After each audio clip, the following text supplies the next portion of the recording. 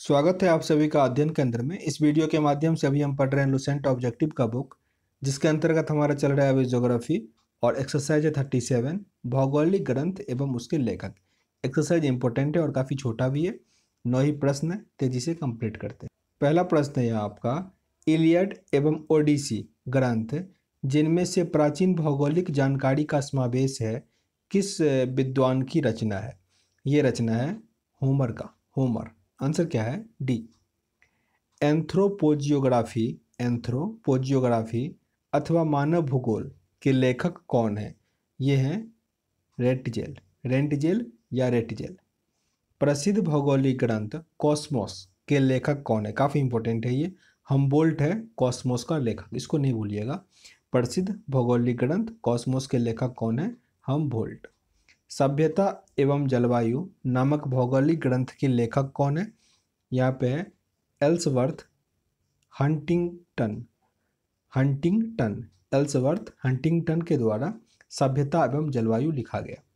जीवन एक मृत्यु का भूगोल means geography of life and death नामक पुस्तक किस ब्रिटिश भूगोलवेत्ता के द्वारा लिखा गया था? ये थे sir Dudley Stamp sir Dudley Stamp answer है यहाँ पे C perspective on the nature of geography के लेखक कौन है? Perspective on the nature of geography के लेखक कौन है? ये है आपके Hartshorne Hartshorne answer है यहाँ पे बी ये प्रश्न आपके किसी भी स्टेट पीसीएस में अधिक पूछे जाते हैं। इसको सही से याद कीजिए, अगर आप स्टेट पीसीएस की तैयारी कर रहे हो। एड कुंडे निम्नलिखित में से किस विद्वान की रचना है मीन्स एंड कुल्डे किसके द्वारा लिखा गया था?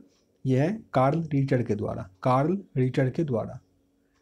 मेट्रोलोजिया नामक पुस्तक की रचना किसने की थी? ये किया गया था अरस्तु के द्वारा। मेट्रो सॉरी हाँ सही है। मेट्रोलोजिया नामक पुस्तक लिखा गया था अरस्तु के द्वारा। प्रसिद्ध भौगोलिक ग्रंथ किताब उल हिंद के लेखक कौन है? किताब उल हिंद के लेखक हैं अल बरूनी अल बरूनी इसमें से दो इम्पोर्टेंट थे काफ़ी, किताब उल हिंद अल बरूनी चलिए, बिना वीडियो को पीछे किए कमेंट बॉक्स में बताइएगा कॉस्मोस के लेखक कौन है? मैं कहा भी था, काफ़ी इंपॉर्टेंट था। ये आंसर आप कमेंट बॉक्स में बताइएगा, बिना देखे हुए चिटिंग नहीं करना है। तो ये था इस वीडियो का इन टोटल नहीं प्रश्न थे, उम्मीद करते हैं समझ में आया होगा। अगर अच्छा लगा हो तो लाइक कीजिए, नहीं पसंद आया तो डिसलाइक भी कर सकते हैं, पर कारण ज़रूर बताइएगा, ताकि वीडियो को इंप्रूव कर सके। मिलते हैं नेक्स्ट वीडियो में, तब तक जय हिंद।